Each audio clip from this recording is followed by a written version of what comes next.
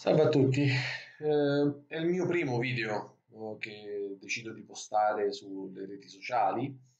E- ed è un pensiero che ho maturato in questi giorni, ma in particolar modo nella giornata di oggi, riguardo questa situazione del coronavirus, eh, ma anche e soprattutto delle conseguenze economico, politico, sociali che questo sta portando.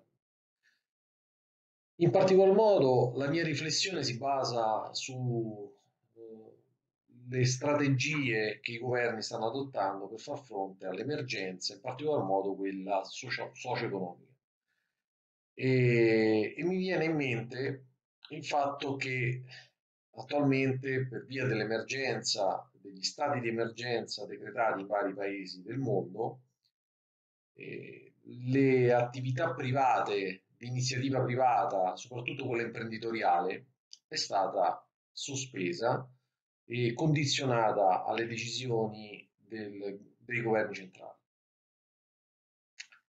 Questo fa sì che la libera impresa, che in Italia peraltro è garantita dalla Costituzione, non sia più possibile, eh, soggetta chiaramente ad autorizzazione per operare.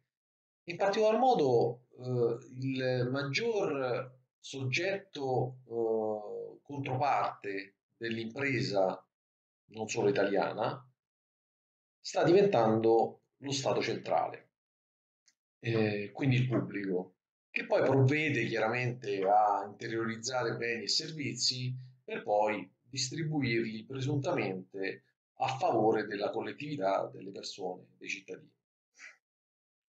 E allo stesso tempo lo Stato si farebbe carico delle esigenze economico-finanziarie dei suoi cittadini mh, con misure differenti, con misure che variano a seconda del soggetto che- di cui si tratta, sia esso un lavoratore dipendente, un disoccupato o un libero professionista autonomo o partita IVA. E questo fa sì che diventiamo tutti dei dipendenti, de- degli stipendiati da parte de- dello Stato che ci sovvenziona secondo i, su- i suoi propri criteri. E questo sinceramente mi fa tornare alla mente il panorama che c'era nell'Unione Sovietica e chiaramente in tutti i paesi del blocco sovietico, i paesi di eh, governo comunista, comunista sovietico, socialista.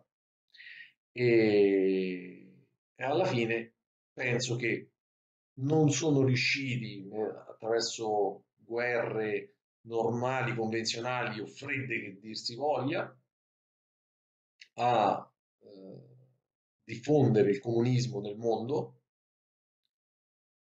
ci sono riusciti attraverso la, eh, l'occupazione di posti politici strategici a livello nazionale e anche sovranazionale, l'occupazione dei mezzi di informazione che veicolano informazioni pilotate, informazioni eh, falsate e che fanno sì che tutti pensiamo al fatto che il governo, i governi stanno agendo nel nostro interesse.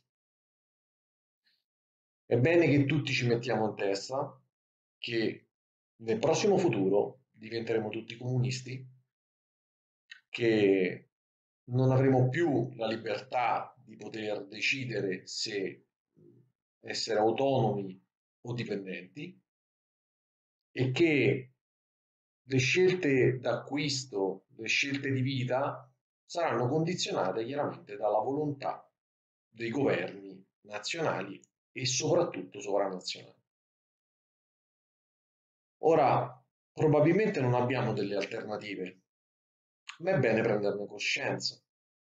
Quindi, se volete, potete diffondere questo video. Spero che nessuno si senta leso da queste mie parole.